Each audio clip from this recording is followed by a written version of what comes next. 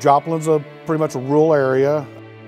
I've lived here my whole life. I was born in 1963.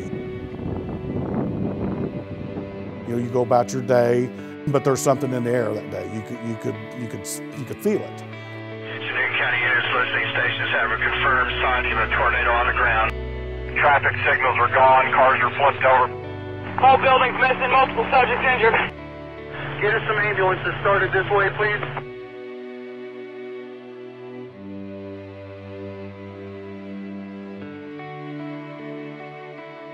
Literally, the town was was gone. It was, you know, our our town was wiped off the face of the earth.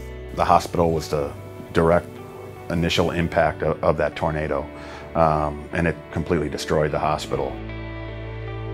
It was like a war zone. It's like pictures you see on TV of, you know, stuff that happens in the Middle East. The guys, you know, knew that uh, uh, they had lost everything, but then they knew that they needed to get to work to help Joplin rebuild. IBEW members have meant a lot to the city of Joplin uh, and their quick response and staying on the job too.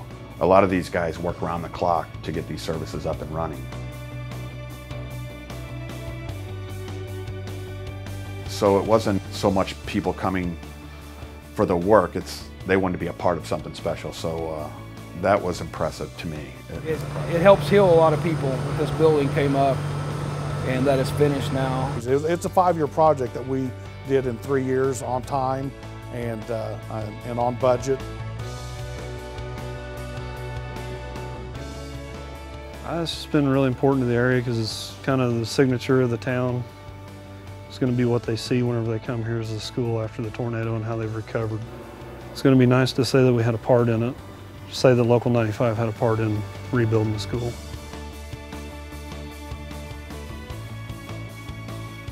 If we have 100 to 150 electricians, that's a big deal for us. At uh, one point in time, we had three projects with over 100 electricians across the nation. And that's one thing I do want to say is uh, um, uh, thanks to all of our members.